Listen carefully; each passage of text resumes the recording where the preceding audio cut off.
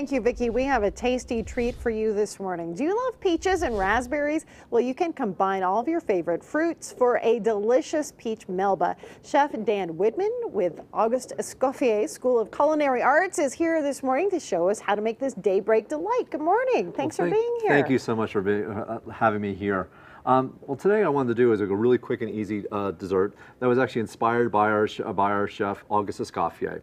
It's called peach melba, and it was um, he came he invented this because he was having this great dignitary was coming to see him, this famous famous star Melba, and Melba was kind of like a kind of like the Lady Gaga of like 1890. Okay. Um, so he was she was she he was coming to uh, to see him. He had oh my I had to do something really special. So he came up with this dessert. Essentially, what it is it's, it's poached peaches and fresh raspberry sauce and vanilla ice cream. Um, but since we have great Palisade peaches this time of year and it's grilling season, I just wanted to grill those peaches. So I just, just I just grill those peaches. Okay. Nice hot grill. Um, Do you treat them with anything? We have some here. Yes. Yeah. What I did here is I just I just brushed them a little olive oil before I grill them. Um, you want to hold your hand over the grill about eight to ten seconds. If you can do that, it's plenty hot enough about um, about six minutes on each side, depending how ripe they are. But this will work with any stone fruit, but peaches work really well. And then after they're done, we just toss them with a little bit of sugar, some water, and some rosé wine. Okay, delicious. Now, um, how do we mix this all together? All right, so it's really easy. We're just make a really quick raspberry sauce. We're just going to take some sugar and some raspberries and just kind of smash them all together. Well, can't that's simple enough. Yeah, it can't get easier than that. Um, and just makes a nice little sauce. And we're going to do is just then we're going to then um, scoop the ice cream into the glasses. Okay. Really, really easy. And then,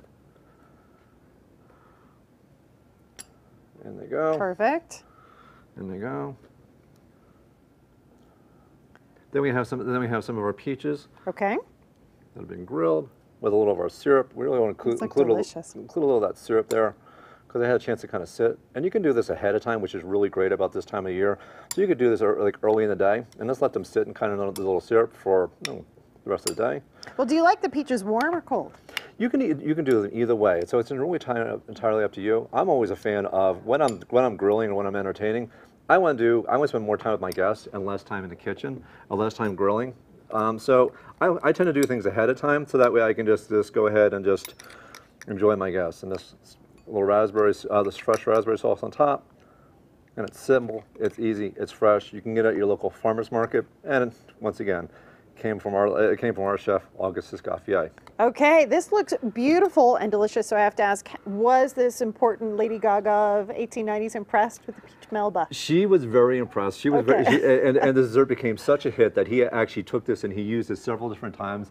He opened actually opened the Ritz Hotel in in, oh. in Paris, and he was like, I, you know, I have this dessert that was really really good. I'll do this dessert, and so he used this dessert over and over again, and actually became world famous. And she was very very impressed. Great. Well, it looks beautiful. I cannot wait to taste. I'm sure that there's spoons around here somewhere. Absolutely. Thank you so much for coming Thank in. you so we much for appreciate having it. Me. A very simple dish that you can try at home.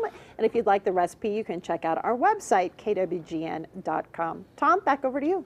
All right, Chris Parente not around.